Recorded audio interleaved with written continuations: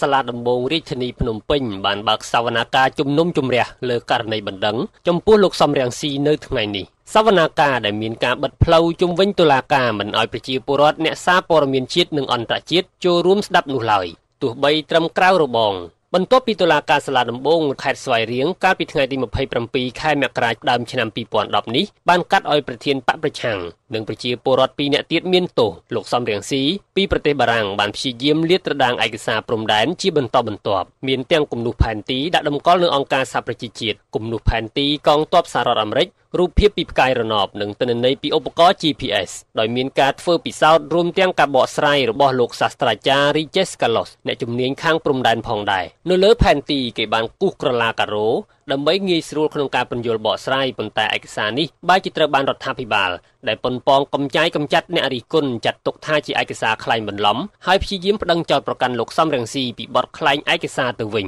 តើរដ្ឋាភិបាលពិតជាមានឆន្ទៈចង់ការពារទឹកដីតំបន់ព្រំដែនភាគខាងកើតដែរឬទេកន្លងមកមានការអះអាងថាមិនអោយកម្ពុជាបាត់បង់ទឹកដីសូម្បីតែ1មីលីម៉ែត្រណានោះទេ ដូច្នេះបើរដ្ឋាភិបាលនិងលោកសំរងស៊ីពិតជាមានជំហរដូចគ្នាក្នុងការការពារទឹកដីមែនហេតុអ្វីបានជាមិនព្រមទទួលយកអនុសាសន៍របស់គណៈបកប្រឆាំងហើយលើកយកបញ្ហាព្រំដែនមកដាក់លើតុចរចារកដំណោះស្រាយទាំងអស់គ្នាជាអកុសលរដ្ឋាភិបាលបែរជាព្យាយាមចាត់ប្រកាន់លោកសំរងស៊ីដែលជាអ្នកចេញមុខការពារព្រំដែននិងបានបង្ហាញពីភាពមិនប្រក្រតីឬហៅថាជាការលាតត្រដាងពីអាកំបាំងនៅតំបន់ព្រំដែនភាគខាងកើតដែលមិនមាននរណាបានដឹង កន្លងមករដ្ឋាភិបាលក៏ធ្លាប់បានចាប់ខ្លួនសកម្មជនព្រំដែនមួយចំនួនដាក់គុកផងដែរហើយឥឡូវនេះជាការព្យាយាមកម្ចាត់លោកសំរៀងស៊ីម្ដងទៀតដោយគ្រាន់តែលោកបានចេញមុខការពារប្រជាពលរដ្ឋមិនឲ្យបង្គោលដំរីព្រំដែនបោះរំលោភចូលលើដីរបស់ពួកគាត់ចំពោះសវនាការសាលាដំបងនៅថ្ងៃនេះប្រសិនបើរដ្ឋាភិបាលពិតជាមានឆន្ទៈរកយុត្តិធម៌និងដើម្បីឲ្យមានតម្លាភាពមិនគួរណាហាមឃាត់មិនឲ្យប្រជាពលរដ្ឋបានដឹងឮនោះទេ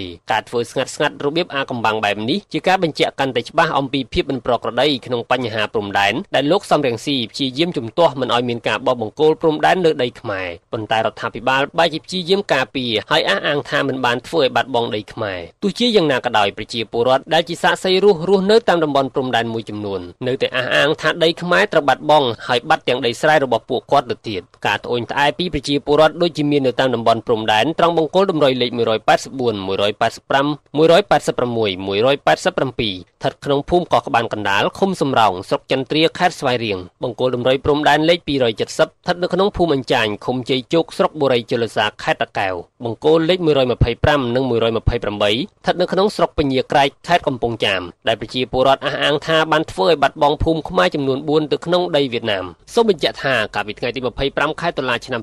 2009លោកសំរងស៊ីប្រធានគណៈបកសំរងស៊ីបានដង្ហែកឋិនទានមួយឆ្ពោះទៅកាន់វត្តអង្គរំដេញភូមិកោះក្បានកណ្ដាលឃុំសំរោងស្រុកចន្ទ្រាខេត្តស្វាយរៀងនៅទីនោះលោកបានដកចោលបង្គោលដំរីព្រំដែនលេខ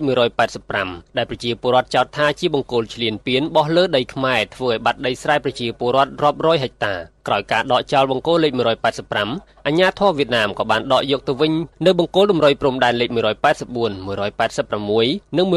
187ហើយអាជ្ញាធរក្រុងហាណូយក៏បានព្រមានមកកម្ពុជាកុំឲ្យមានករណីបែបនេះកើតឡើងជាថ្មីនិងត្រូវចាត់វិធានការមកលើលោកសំរងស៊ីលោកសំរងស៊ីនិងប្រជាពលរដ្ឋ2នាក់ទៀតត្រូវបានតុលាការខេត្តស្វាយរៀងកាត់ឲ្យជាប់ទោសចំនួន2ឆ្នាំនិងបង់ប្រាក់ពិន័យជាង60លានរៀល